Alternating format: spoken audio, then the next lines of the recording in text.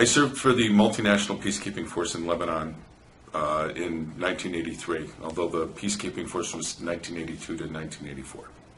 And in which branch did you serve? The United States Navy. What was your rank? I was an electronics technician, second class, And where did you serve again? in, in the Mediterranean theater. Were you drafted or did you enlist? I enlisted. Where were you living at the time? When I was enlisted, uh, I grew up in Windsorville, Connecticut. I enlisted in Manchester, Connecticut. Why did you decide to join? I couldn't afford to go to college at the time, and I knew uh, that in the Navy I would get a good education. Why did you pick the branch of service that you joined? Well, because of the education. Also, the opportunity to travel. I want. I had the travel bug, so I, I wanted to travel. Do you recall your first days in service? I do. Boot camp. How did it feel? It was unusual. Uh, there's a lot of you know people come from all different parts of the country, so you're get, you're getting used to being around people who see, think, and feel things differently than you do. Uh, even how they view practicality, in some cases, is different. Do you remember your instructors? I remember my my company commander. He was uh, he was a boatswain's mate, first class. His name was his last name was Passman, and um, they called him the Tasmanian Devil. I think he was no more than five six, and mean to all the other companies. He was really good to us, though. Do you have any experiences that were memorable that you'd like to share from boot camp? Uh, boot camp was my uh, my boot camp was in Orlando, and my first my first encounter with a cockroach was in boot camp. Um, now these aren't just any cockroaches; these are palmetto bugs, and palmetto bugs are flying roaches. And I remember uh, waking up in the middle of the night with one of these things uh, about three inches long on my chest, and I flipped. I woke up the whole company. And all the Southerners were like, "What's the matter, Hunter? Ain't you never seen no palmetto bug before?" I said, "That's a roach." I said, "You know, we have we have mice on our farm. We don't have roaches." You know, it was, so it was a it was a shock to me, and everybody got a good laugh, except that they, I woke them up. Uh, back in boot camp, sleep was precious. Um, I remember uh, choosing to go to intensive training a lot. Uh, at the end of the day, um, I was I was a wrestler in high school and I was in really good shape. And while I was in boot camp, I was actually losing my level of conditioning. So I would go to IT at night to do the extra training, and uh, I enjoyed that. Um, I always liked uh, I always liked the physical the physical aspect of the training. Um, I remember you had 20 minutes to eat. Um, when I was in boot camp uh, for work week, I worked in the field house. And uh, I remember opening the field house in the morning and seeing what was normally a green floor, black. And as soon as you turn on the lights, the floor would move. And it was all the palmetto bugs that were on the floor that would just scatter. Um, it was the first time I saw that, I got physically ill. It was it was interesting. Um, I joined the drill team when I when I was on uh, when I was in boot camp. Uh, I uh, I enjoyed it. Uh, it was I marched in drum and bugle corps when I was in high school, and uh, I actually helped teach my company how to march uh, to make it look good. Uh, in drum corps, you have to march a certain way, and you have to do it without bouncing, and it looks really good. So I taught the company how to do that. Um, taught them the different facing commands and how to make them look crisp, and uh, we won a lot of marching awards. So that was kind of cool. Um, other than that, it was really hot. I was unprepared for how hot. Um, I, I, you know, growing up in Connecticut, we have humid summers. They had humidity all the time, and the heat was ridiculous. It was ridiculous. Um, oh, that's really about it. Uh, For boot camp, that's really about it. How would you say you got through boot camp? I thought it was easy. So please remind us which war you served in again. Uh, the multinational peacekeeping force uh, in Lebanon, uh, in 1983. I was attached to the USS Dwight D. Eisenhower. Where exactly did you go? Meaning, Travel. oh, while I was in the Navy? Yeah. Okay, I started in Orlando. I went to Great Lakes, Illinois. I went back to Orlando for nuclear power school. Um, I got pulled out of school because I had ADD, and uh, they uh, they tried to discharge me, and I didn't really want to go. So I tried out for the SEALs, and I wound up going to Coronado, California, to try to become a SEAL. Um, I discovered I had a lot of trust issues there. uh, no, this is. I, I, uh, I I- ultimately I, I went to from Coronado, California, back to Great Lakes to finish ET school.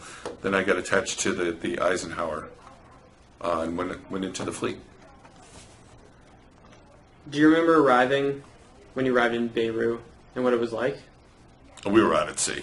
It was all blue. Okay. Um, the most notable, the most notable thing was uh, back in September when we were in the Mediterranean. Uh, we did a photo op with the USS New Jersey, uh, BB-62, and I remember thinking, "Wow, the ship is just a little bit shorter than we are." It was only, um, it was it was like 150, 200 feet shorter than the aircraft carrier, and watching how it cut through the water was impressive because it's it's a floating arsenal, and I took as many pictures as I could. Uh, it was such an amazing ship. Uh, that was probably the most notable thing. Um, we we were also in Libya, uh, sitting off the coast of Libya. We had an issue. It wasn't really a war. It was uh, basically we were playing chicken with the aircraft carrier. Muammar Gaddafi had imposed this line of death, and it was 250 miles, which actually ate up part of Italy. It was ridiculous. Um, and we went into the 12 and a half mile international limit and turned on all our lights and put some planes in the air, just waiting for him to act. Um, he did. He blinked. He nothing happened. Um, we went to Libya we headed toward Libya a couple of times. Um, that that time that we had all the lights on, we were sitting there. We were at general quarters. Um, wasn't really stressful. It was kind of boring. You just sit in your shop and twiddle your thumbs and you know wait for what's coming next. Um, and then uh, we had we were supposed to go to Naples for uh, leave or liberty, and um, Naples in Italy, uh, and we got called to Beirut. So we spent 92 days out at sea. Can you tell us a little bit about your jobs and assignments while on the ship? Yeah, um, I, replay, I, I repaired and maintained uh, UHF radios. Um, I'm sure they're out of service now. They were tube radios. Um, URC 9s uh, were, were the primary radios, uh, but they fit into uh, these amplification systems called SRC 20s or SRC 21s. Um, and we, they, they almost never broke. Um, we, we had to uh, maintain them. The URC 9s, uh, I remember the IF and the RF modules always needed tweaking. Um, with UHF radios, uh, there's there's a problem called interelement capacitance, where one element will affect its physical position will affect the output of the radio in relation to another one. So we when we tuned these radios, we had orange wood sticks and we had to bend these fins back and forth and look at the power output on a dummy load. You know, you run it into a dummy load, but run it through a meter so we could see what the power output was. And um, I just it, it was m- more artistry than technical ability. You had to have a nice light touch and a lot of patience. So it was that was the most memorable part. Did you see combat? Not personally. I was in the wrong place at the right time. Tell us about a couple of your most memorable experiences. On the ship or throughout the Navy, my naval tour. Throughout. Okay. Um, my most positive and my only regret was going to BUD/S. I learned so much about myself in BUD/S. Um, I learned that despite what physical condition I was, if you weren't mentally tough, you weren't going to make it. Uh, there were some people in there who were just tremendous athletes, and they dropped. They couldn't make it. Um, I was actually the class's first drop, and uh, it was all because of trust issues I had. Uh, you, when you're in the teams, you have to be able to completely put your hands in the life of your buddies, the same way they put theirs in your hands, and I couldn't do it. Uh, I couldn't do it. Um, that was, I, I love the experience though. I still, you know, I, I, while he's not really healthy, I still communicate with one of my former uh, instructors through Facebook, which is kind of cool. Um, it's it's nice. Uh, he was very reassuring about me leaving. He, uh, he wrote me a nice letter, and I kept it. Um,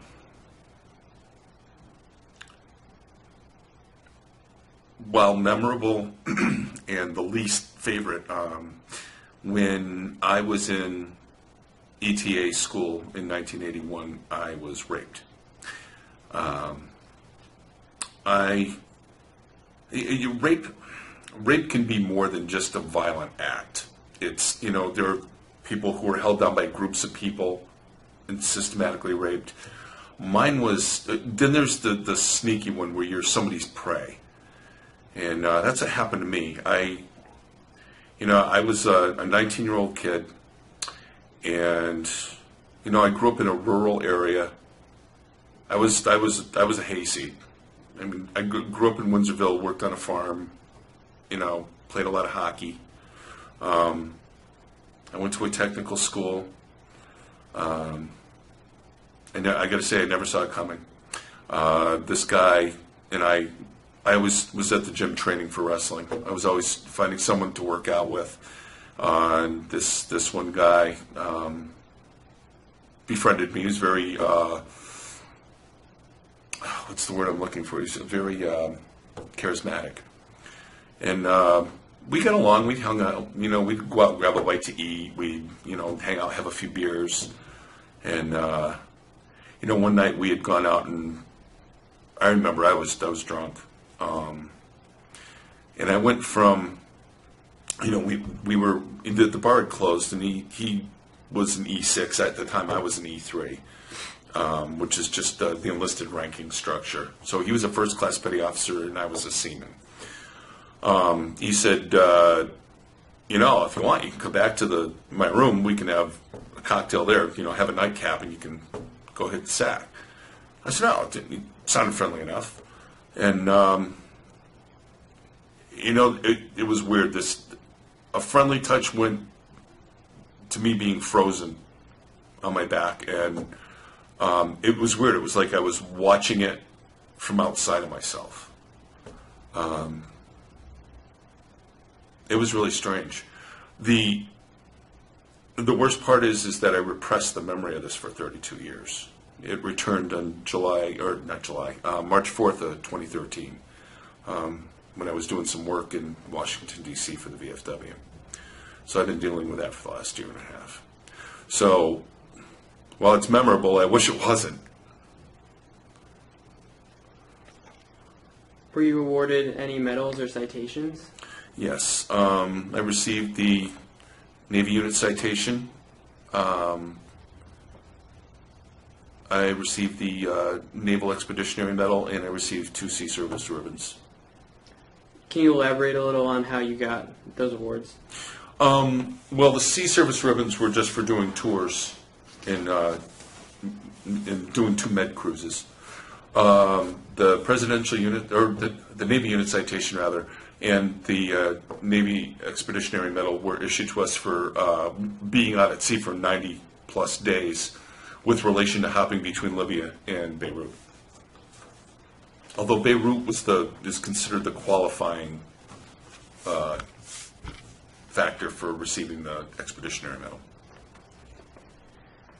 How did you stay in touch with your family while you were out at sea? Uh, wrote letters. Um, I wasn't a prolific letter writer. Uh, but my aunt, my aunt Joyce used to write to me. Uh, my mom did, and I would send letters once in a blue moon. My mom would send me care packages. I was not a good communicator. I, I was not a big fan of writing. What was the food like on the ship? I'm sorry, what? What was the food like? It depended on whether you were in port or out at sea. Um, when we when we were in port, the food was horrible. It was terrible. Um, when we were out at sea, the food was great. You could get food twenty four seven, unless they were doing some line maintenance, which was, you know, it was regular, but it wasn't so it wasn't that inconvenient. But I'll tell you what, for being on a ship with over 5,000 people, you consider they're feeding 5,000 people and they've got their rhythm going when they're out at sea. The food's pretty good. I think the only thing that I didn't like was the shelf milk, the Parmalat. And to- even cold, it was ugh, it was horrible. Um, and when we were in foreign ports, no one wanted to eat on the ship every, anyway. Everybody wanted to get on shore and eat real food. So definitely traveling to the, the foreign countries we went to was incredible. The food, I ate a lot of good food. Did you have plenty of supplies? Usually. Usually. Um, but I can't really think, except for the time we were out at sea for 90 days and started living on shelf, shelf milk. Uh, you know, food got a little sparse there, um, but it was nothing. It was nothing that really put us out. It was, uh, it, it was just what was available versus a lack of volume. So the, the pickings got slim, but you were able to eat.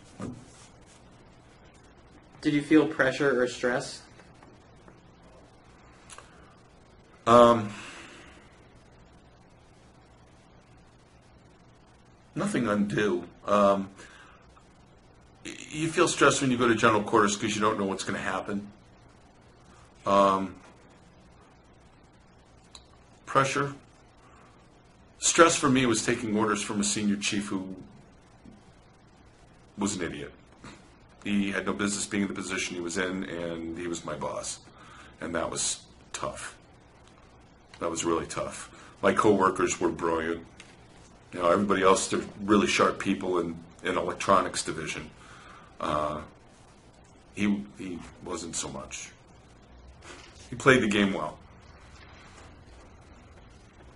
Was there anything special you did for good luck? No, I didn't really believe in luck. I'm not a superstitious. How did people entertain themselves? Well, I taught myself how to play guitar. Uh, we did have ship's TV, um, which I never watched because the the lounge for the berthing compartment there were always a ton of smokers in there, and I didn't smoke, and it was terrible. So uh, I never really went in there. So uh, I learned how to play guitar. I sang in a band. Um, I grew up singing, so it was that was easy. Uh, I would work. I would, I would get out of the way. I'd go work somewhere. Um, I would go to. There were a couple of places on the ship where you could go. Uh, there were underway replenishment stations for like refueling, where I could just go out there and throw out a deck chair and just watch the world go by. I used to spend as much time outside as I could. I liked being watching the. I, I liked watching the sea. I loved going out to sea. I really did. Even through storms, I, I loved going through storms. Were there any entertainers on the ship or that came? Oh yeah, we had a USO show come in uh, 1984. That was that was a lot of fun. Boy, you know it, it's funny. You start talking about stuff like this. I think about um, the Fourth of July in 1983. I was in Carney Park in Naples, Italy. Uh, there was a USO show there. Um, I have a picture of me juggling coconuts, of all things. We had a USO show. I remember Cynthia Rhodes was there. Uh, the guy who played Jim Bob Walton was on there. Uh, one of the one of the, uh, one of the guys from uh, Trapper John M.D. was on there. He was a keyboard player. Uh, he's a black guy, um, super guy. Uh, Marion Ross was one of the hosts from Happy Days. That was that was funny. She was uh, sweet, but she had that you know Mrs. Cunningham humor, just like get you from the left field. She was funny. Um, and we did have days where uh, we would do like we'd have Steel Beach. Uh, the captain of the ship, uh, Captain Clexton, was uh, was uh, actually a pretty good guitarist and singer. He did a lot of country music. He was, uh, and our band performed, and um, I think that was that was pretty much it. Um, I would spend a lot of free time when I was learning how to play guitar. It's not a fast process, so I was learning how to finger pick rather than use a flat pick. So I was making it doubly hard on myself, but uh, it seemed to work out. I had all the free time in the world. What did you do when you were on leave? I ate. Um, sometimes I would come home, uh, but well, there were times when I had multiple days of liberty too. So uh, if we were in a foreign port, I would scout out the best restaurants and I would eat well. Uh, that was my thing. I like dining. Um, I used to hoard my paychecks to, especially in Italy, because back then we were getting 2,000 lira to the dollar, which is you, we will never see again in our lives. Um, uh, the, the exchange rate was amazing. So, and then right in Naples, there were so many good restaurants. You just had to get off the beaten path and go where sailors didn't go. There, there were places, there were bars and stuff. It blew my mind. I can't believe how many people saw the country from the inside of a bar. And I would walk. I was an explorer, so I would walk all over the place. We'd pull into Naples. I would go to Sorrento. I went to the Amalfi Coast. I went to. I took a, a ferry out to Capri.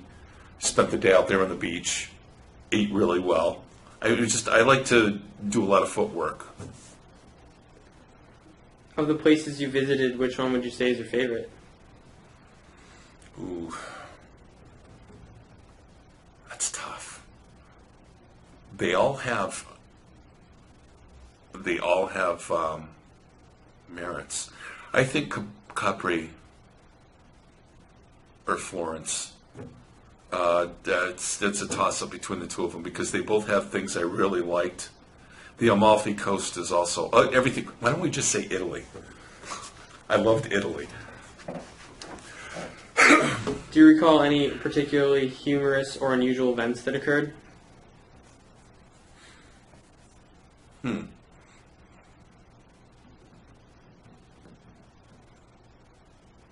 Yeah, when I was uh, stationed in Great Lakes, I played on a rugby club, and uh, it was painful, but it was humorous to me. I had uh, I had tackled uh, scrum half.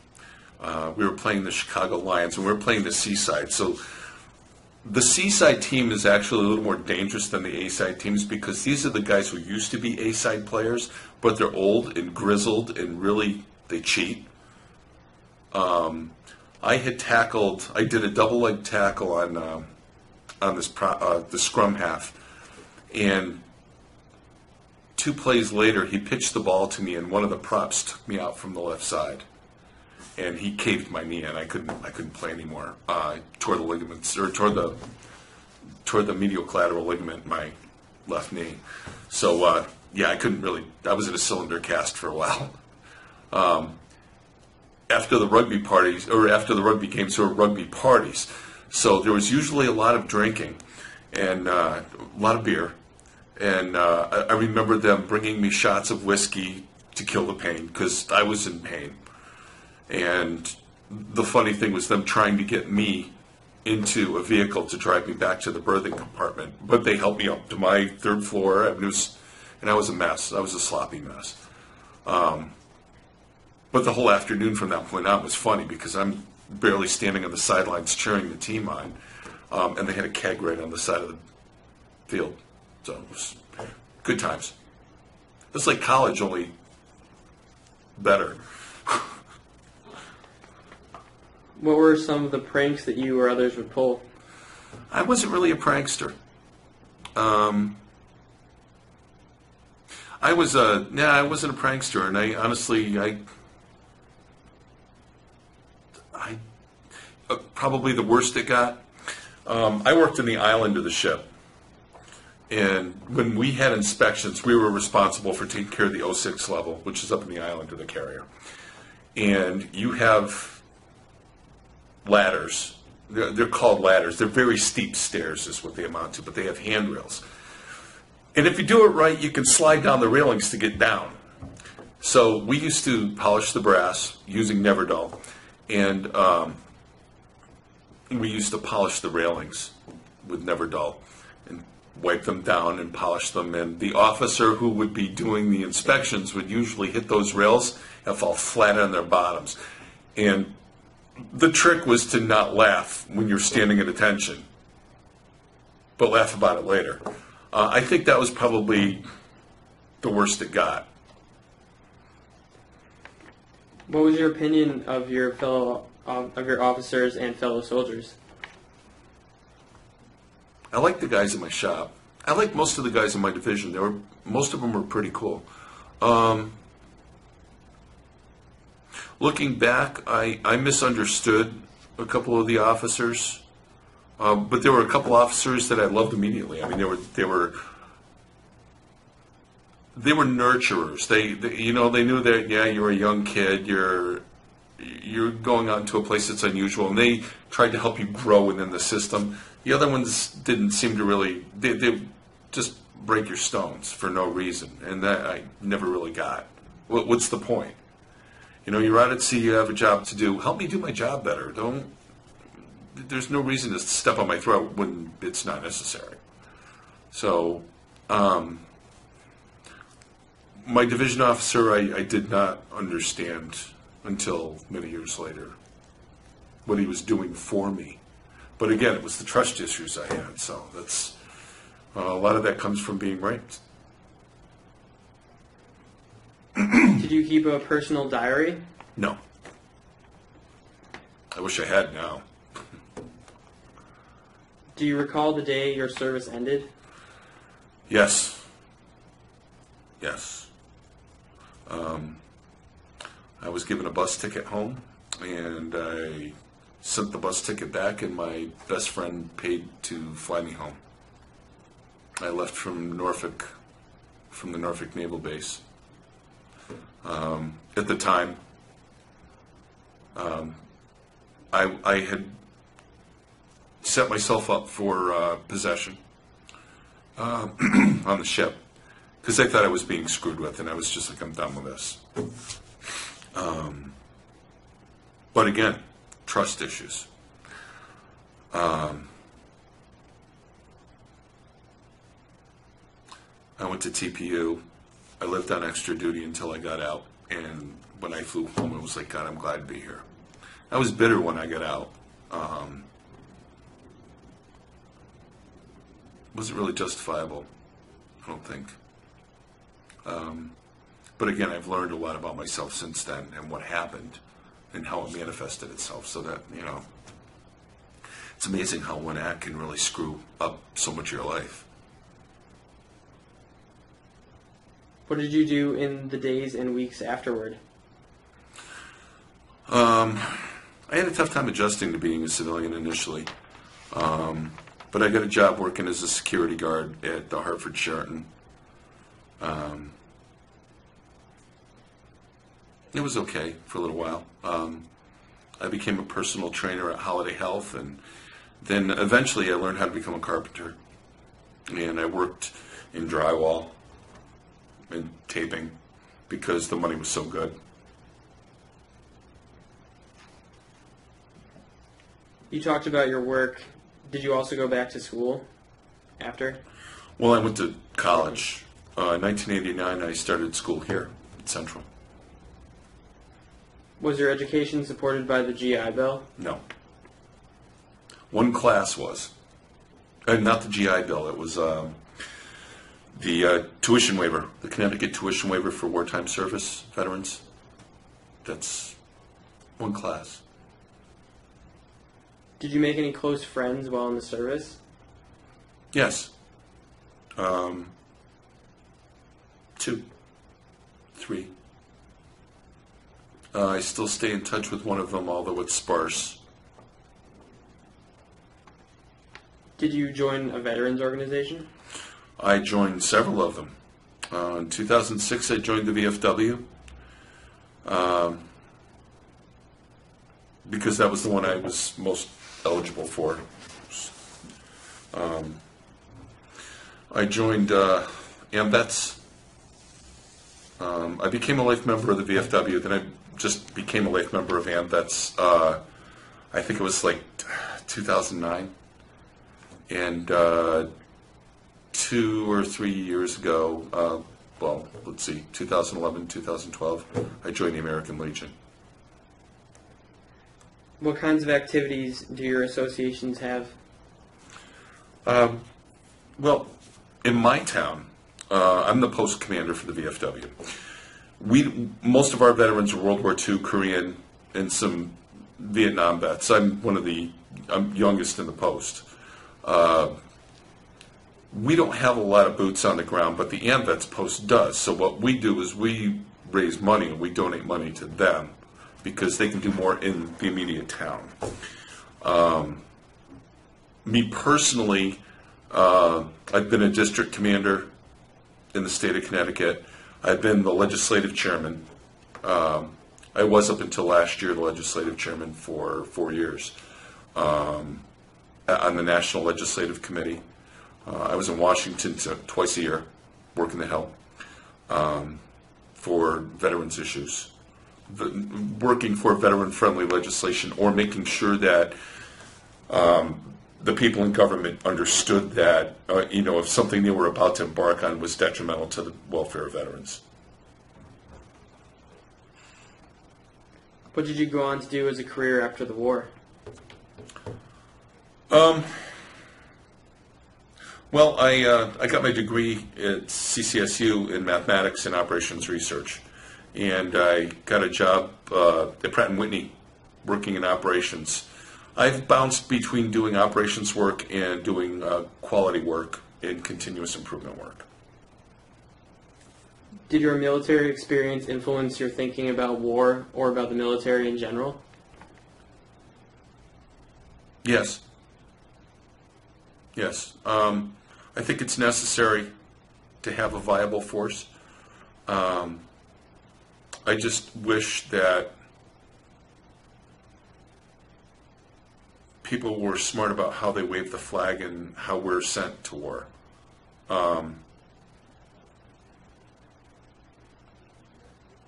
I, there are times when I think we've been deployed that I don't think it's in our best interests. I think it's in private best interests. And there are times I think, I clearly believe we needed to go to Afghanistan. Iraq, not so much. Um, I, I, I appreciate everything my brothers and sisters do in the military, um, un, un, unequivocally. Uh, I just wish that Congress and our respected presidents held their lives um, with a little more value. Do you attend re- reunions? Um, actually, I did uh, this past Saturday um, at the All Veterans War Memorial in uh, Bantam. We held the uh, remembrance ceremony for the bombing of the barracks in Beirut, and uh, there were three survivors there, three barracks survivors there. Um, and listening to their stories is like whew, three Marines. Connecticut lost six people that day out of 200 and is it 241 people that died that day. It's the single biggest loss of Marines since the assault on Iwo Jima in one day. How did your service and experiences affect your life? Um, well, you know, when I first got out, I was kind of bitter, and I didn't really want anything to do with the military. Um, and by 2006, my my whole attitude had changed. Um, I don't know what the signal moment was, but uh, It, it had changed, and that's when I chose to join the VFW. You know, I had spoken to a couple of friends of mine who were veterans who came back, and they weren't so whole. There were parts missing, whether it was mental health or physically. And um, I decided that, you know, I'm healthy at the time. I was healthy. Um, and it was incumbent on me to do something to help them because I was healthy. I still had a good mind. I, you know, I'm still sharp. Um, that I should be helping, and uh, that's that was why I started with the VFW. That's why I joined. You know, I, it was funny. I, um, as a lapsed Catholic, I joined the Knights of Columbus hoping to do some some charitable works, and uh, I really wasn't thrilled with the way they did it. So I identified with being a veteran and joined the VFW, and I haven't looked back. Um, it's been a very good organization to me. It's like any organization. I mean, there's politics in it and stuff, but you know, it, it, you can rise above that. Is there anything you would like to add that we have not covered in this interview? You know, all, all in all, I'm I'm, I'm honestly grateful for having had the chance to serve my country. Uh, when I was a kid, I already believed that had I gone to college or not, I was going to be in the military. I believed that um, everybody should spend some time serving their country. Uh, I had that opinion in my sophomore year in high school and carried it until I graduated.